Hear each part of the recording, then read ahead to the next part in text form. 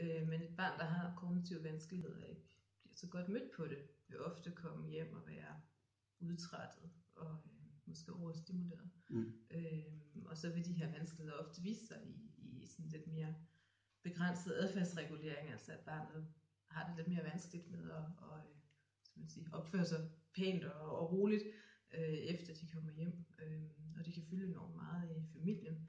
Øh, og det er også en anden forældreopgave, man står med, end, end, øh, end hos de mange andre børnefamilier.